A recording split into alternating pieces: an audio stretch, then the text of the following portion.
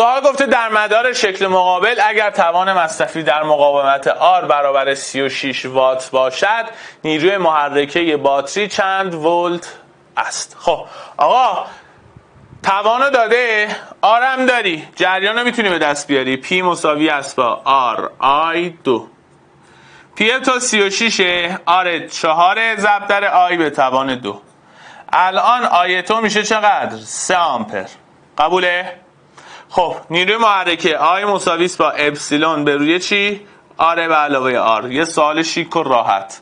I تو 3 هستش اپسیلون رو می‌خوای.